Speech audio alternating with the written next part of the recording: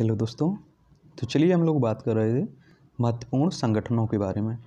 तो इसमें हम लोगों ने लास्ट लेक्चर में बात की थी आर्किटिक काउंसिल के बारे में, ठीक अब इसमें बात करेंगे हम लोग नाटो के बारे में नॉर्थ अटलांटिक ट्रेटी ऑर्गेनाइजेशन के बारे में।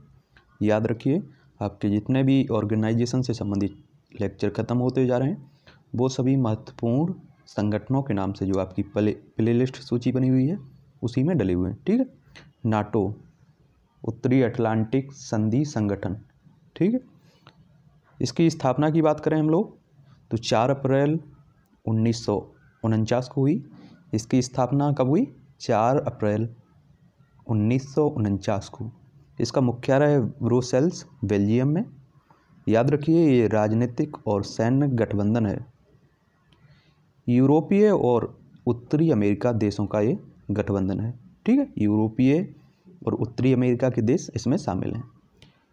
इसका उनतीसवा देश था सदस्य उनतीसवा मॉन्टेनिगो और तीसवा है मैसीडोनिया।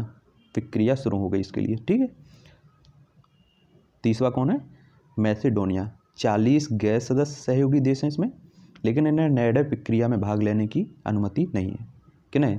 जो चालीस गैर सदस्यीय सहयोगी देश हैं ठीक है? याद रखिए। तो याद रखना है आपको, इसकी स्थापना हुई चार अप्रैल उन्नीस सौ उनचास को। इसका मुख्यालय है ब्रुसेल्स, बेल्जियम। यह राजनीतिक और सैन्य संगठन है। इसमें यूरोपीय और उत्तरी अमेरिका के देश शामिल हैं।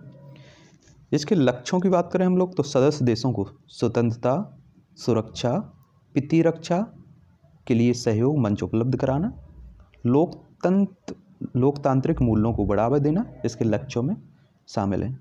इसकी पृष्ठभूमि की बात करें, उद्देश्य और पृष्ठभूमि।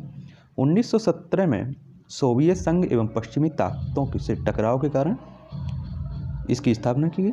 दूसरे विश्व युद्ध के बाद पूर्वी और पश्चिमी ताकतों के बीच टकराव से इसकी स्थापना हुई। इसी का परिणाम था नाटो, उत्तरी अटलांटिक संधि या वॉशिंगटन संधि के लिए ज़रिए ठीक है, इसकी स्थापना हुई। चार अप्रैल उन्नीस सौ उनचास को बारह संस्थापक सदस्यों के हस्ताक्षर के बाद इसकी स्थापना हुई। इसकी शक्तियों की बात करें हम लोग, नाटो की शक्तियों की तो यूएन के चार्टर के अनुच्छेद इक्यावन में इनकी शक्तियाँ दी गई। कुल चौदह आर्टिकल हैं इसमें। स्वतंत्र देशों, एकल सामूहिक वित्तीय रक्षा अधिकार। आर्टिकल पाँच में सामूहिक प्रक्रिया प्रावधान। सिद्धांत है कि एक सदस्य पर हमला होने पर सभी सदस्यों पर हमला माना जाएगा। अगर नाटो के किसी एक सदस्य पर हमला होता है तो वो सभी सदस्य देशों पर हमला माना जाएगा। ठीक है?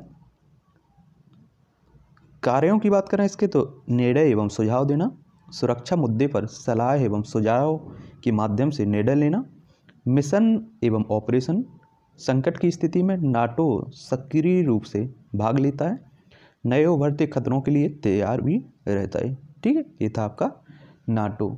याद रखिए, इसके अभी करंट में सेक्रेटरी हैं जेंस स्टोर लेटेन बर्ग ठीक है?